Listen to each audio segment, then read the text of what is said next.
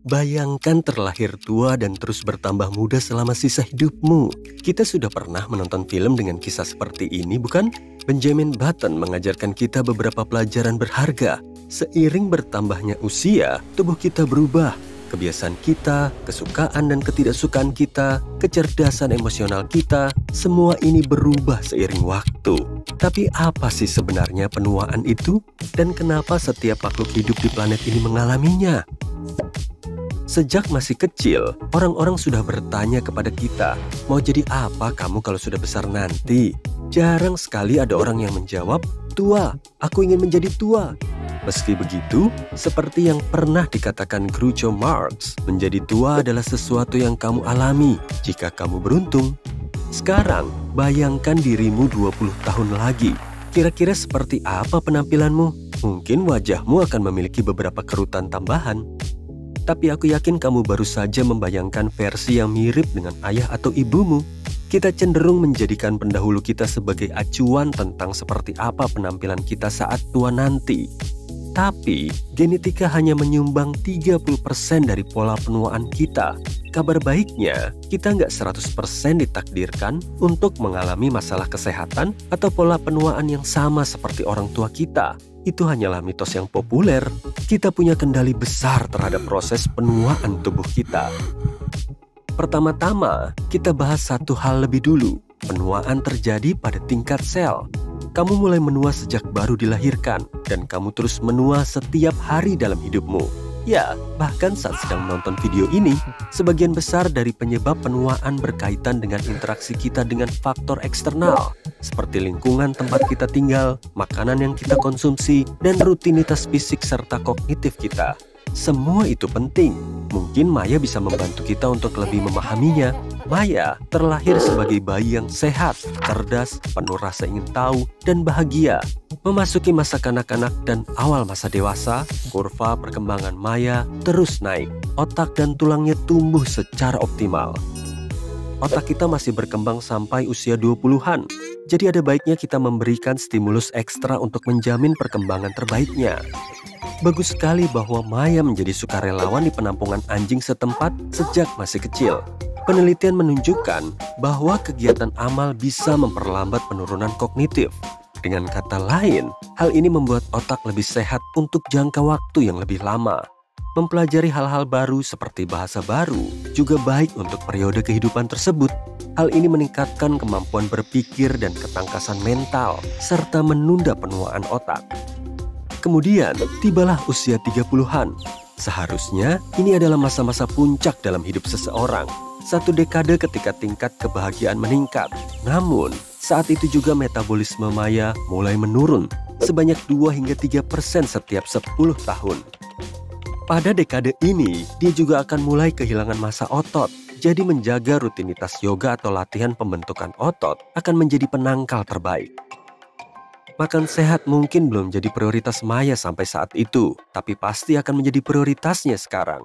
Dia akan mulai mengonsumsi makanan yang bisa bantu mempercepat metabolisme tubuhnya, seperti jahe dan lainnya.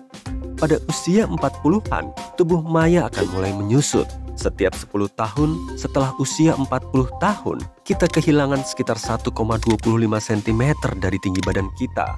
Hal ini disebabkan oleh perubahan yang terjadi pada tulang, otot, dan persendian. Gak ada cara untuk menghentikan proses penyusutan ini sepenuhnya, tapi olahraga akan sedikit membantu menguranginya. Selama usia 50 dan 60-an, anak-anak Maya sudah mulai bersekolah dan meninggalkan rumah. Jadi dia akan merasa lebih bebas daripada beberapa tahun terakhir. Tapi dia harus menerima beberapa keterbatasan baru terkait tubuhnya. Penglihatan dan pendengarannya semakin melemah Sepertiga penduduk Amerika yang berusia akhir 60-an dan awal 70-an mengalami gangguan pendengaran, tapi dia bisa menggunakan kacamata dan alat bantu dengar jika diperlukan. Kulitnya telah kehilangan banyak elastisitasnya, sehingga kerutannya tampak jelas. Dia mungkin menyesali betapa seringnya dia terkena sinar matahari tanpa menggunakan tabir surya saat masih muda. Tapi sisi baiknya, Maya memiliki rambut berwarna abu-abu keren dan dia menyukainya. Sementara Maya sanggup menerima siklus kehidupan, beberapa temannya beralih ke teknologi terbaru untuk memperlambat atau bahkan mengurangi penuaan pada tubuh mereka. Rata-rata umur manusia adalah 90 tahun, yang mana sudah sangat lama menurutku. Hingga hari ini, manusia dengan umur terpanjang hidup selama 122 tahun 164 hari. Namanya Jean Calment, seorang wanita dari Prancis. Orang tertua yang masih hidup saat ini juga seorang wanita Prancis bernama Lucille Randall.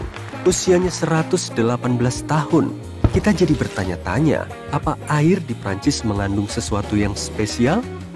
Janji-janji teknologi baru menunjukkan bahwa semakin banyak orang akan bisa hidup hingga usia 110 atau 120 tahun.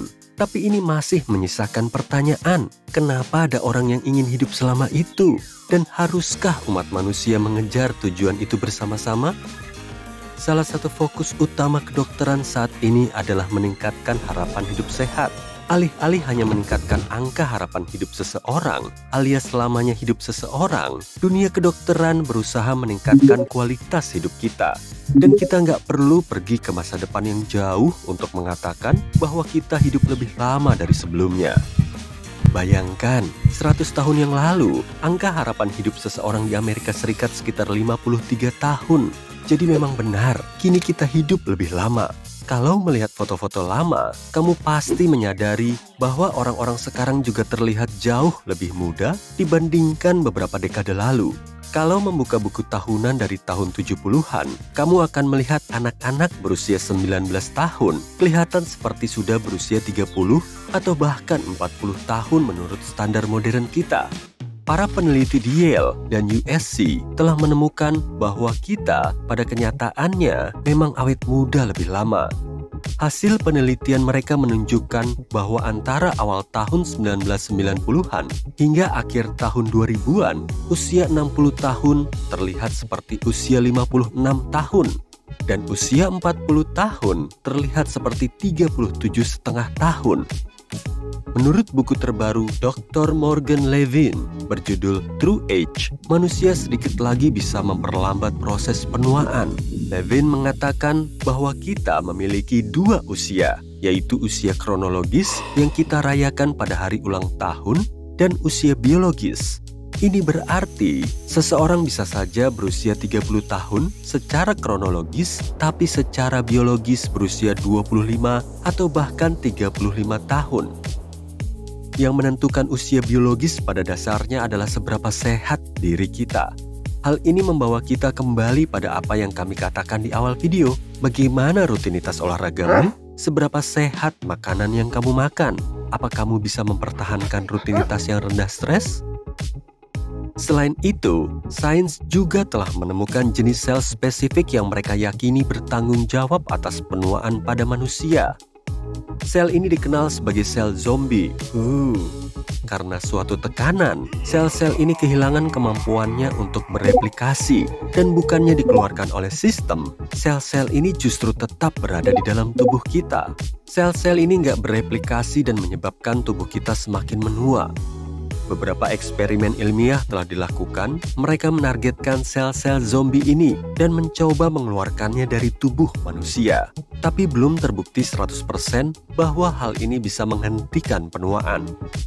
Percobaan modern lainnya adalah dengan memperbanyak sel NAD+. Perlu diketahui, sel kita tersusun dari ratusan bagian. Semua bagian ini terus-menerus perlu dihancurkan, dibersihkan, dan dibentuk kembali Masalahnya, seiring bertambahnya usia, proses ini menjadi kurang efektif. Kita memproduksi lebih sedikit koenzim NAD+, yang merupakan bagian pengatur dari struktur sel kita. Ini mengingatkan sel kita akan fungsi reproduksinya. Ketika berusia 50 tahun, kita memiliki sekitar setengah dari NAD+, yang kita miliki ketika berusia 25 tahun. Jumlah koenzim yang rendah ini berkaitan dengan banyaknya penyakit dan proses penuaan itu sendiri.